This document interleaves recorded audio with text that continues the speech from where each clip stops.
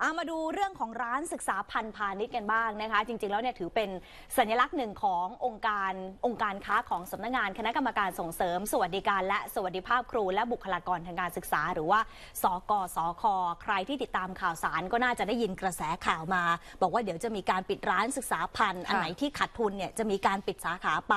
วันนี้มีการยืนยันออกมาอีกครั้งแล้วนะคะว่าไม่มีการปิดร้านแน่นอนนะคะ ตอนนี้เนี่ยเรียกผู้จัดการแต่ละสาขามาคุยและจะมีการปรับกลยุทธ์กันเพื่อหาทางลดรายจ่าย แล้วก็เพิ่มรายได้ ส่วนสาขาราชดำเนิน อันนี้ปิดเพื่อปรับปรุงเท่านั้น เดี๋ยวปรับปรุงเสร็จกลับมาเปิดในรูปแบบใหม่แน่นอนนะคะค่ะนายวีรกุลอรัญญนาคผู้อำนวยการสกสคยืนยันนะคะว่า จะไม่มีการยุบร้านศึกษาพันธ์พาณิชย์แล้วก็จะไม่เลิกจ้างพนักงานที่มีอยู่กว่า 200 คนด้วย ตอนนี้ได้หารือกับร้านทั้ง 10 แห่ง เพื่อวางแนวทางลดรายจ่ายเพิ่มรายได้ ให้กับทางร้านค้า บางสาขาเนี่ยจะเพิ่มการทำงานเป็น 2 ช่วงเวลา และจะให้เพิ่มพนักงานในสาขาที่มีความต้องการสูงด้วย นอกจากนี้จะพัฒนาผลิตภัณฑ์ที่ตรงกับความต้องการของตลาด โดยจากการไปสำรวจยอดจำหน่ายของร้านค้าในปีนี้นะคะเพราะว่าขาดทุนแสนกว่าบาท แต่ก็เชื่อว่าน่าจะสามารถแก้ปัญหาได้ค่ะ ไปฟังยืนยันจากไปฟังเสียงยืนยันจากผู้อำนวยการสกสคค่ะ ทั้งระบบของร้านศึกษาพันธ์เนี่ย ทั้งหมดมีเรามี 10 แห่ง อยู่ในกรุงเทพ 9 แห่ง แล้วก็อยู่ที่จังหวัดอุตรดิตถ์แห่งนึงนะที่อุตรดิตถ์จะเน้นเรื่องของการขายน้ำมัน เพราะเป็นปั๊มน้ำมัน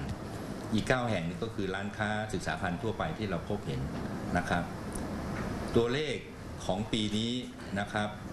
ทั้ง 10 แห่งเมื่อเมื่อเราเอาตัวเลขมาดูแล้วนี่มียอดนะครับยอดของการจำหน่าย 675 ล้านนะครับ ใน 675 ล้านเนี่ย โดยตัวของเขาเนี่ยทำกำไรของเขาเอง 127 ล้านคำว่าทำกำไรคือรายได้ รายได้จากการขายเนี่ยเป็น 127 ล้าน แต่เนื่องจากว่ามันมีค่าใช้จ่ายอื่นๆที่เข้ามาเกี่ยวข้อง ไม่ว่าจะเป็นเรื่องของค่าเช่านะครับ ไม่ว่าจะเป็นเรื่องของการจ่ายเงินเดือนพนักงาน ค่าทำโรคทั้งระบบเนี่ยทำให้ตัวเลขเนี่ยเราขาดทุนอยู่ 127,000 บาทนะครับ ซึ่งกรณีเคสแบบนี้ดูแล้ว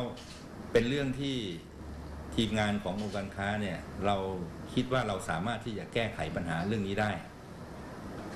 องค์การค้าตั้งขึ้นมาวัตถุประสงค์ก็คือต้องการที่จะพยุงราคาแบบเรียนสื่อการเรียนการสอนทุกประเภท ในราคาถูก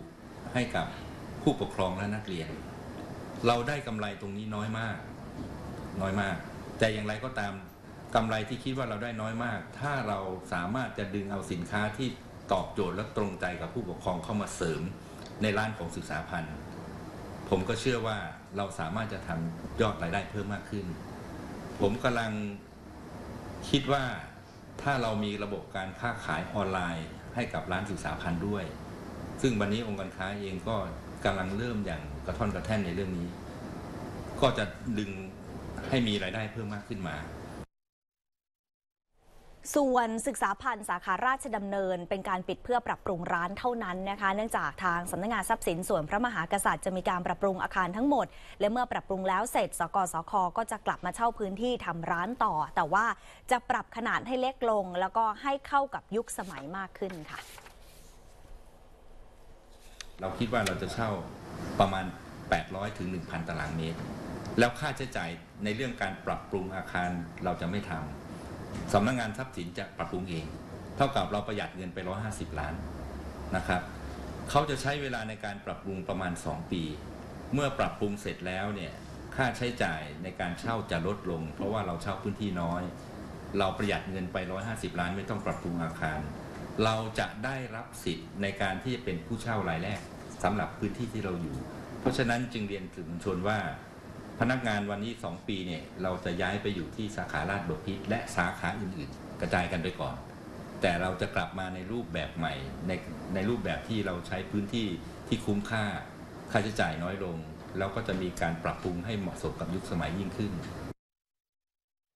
คือที่ผ่านมาสาขาราชดำเนินเนี่ยแค่ค่าเช่าค่ะ9 0 0แสนกว่าบาทอืม9 0 0แสนบาทต่อเดือน พื้นที่ประมาณสัก 7,000ค่ะ7,000 ตารางเมตร ตอนนี้ก็จะปรับลดเหลือแค่ 800ถึง1,000 พอ ค่าเช่าถูกลง แล้วก็จะมีการปรับปรุงใหม่ให้เข้ากับยุคสมัยด้วย คือแน่นอนนะคะ ถ้าพูดถึงเนี่ยหลายคนรู้สึกว่าถ้าหาของหาสิ่งของที่เกี่ยวข้องกับการเรียนการสอนต่างๆ หาที่อื่นไม่ได้ที่นี่แหละ คือที่ที่เราจะต้องไปใช่แต่ถ้าเกิดว่าวันหนึ่งต้องปรับเปลี่ยนรูปแบบก็อาจจะต้องมีการพิจารณากันอีกทีนึงแต่ว่าเอกลักษณ์ของเขาในแง่ดี ในมุมที่หลายคนมักจะนึกถึงเวลาที่เราหาตามร้านขายเครื่องเรียนเครื่องเขียนต่างๆ ไม่มีที่นี่แหละที่จะมีน่าจะเป็นหนึ่งจุดเด่นที่สามารถที่จะทำได้นะคะอ่า70 ปีแล้วนะที่อยู่กับราชดำเนินมา เพราะฉะนั้นยืนยันว่าไม่ได้ปิดนะค่ะเดี๋ยวปรับปรุงเสร็จแล้วกลับมาเปิดใหม่พนักงานก็ไม่ได้เลิกจ้างด้วยนะคะใช่ค่ะ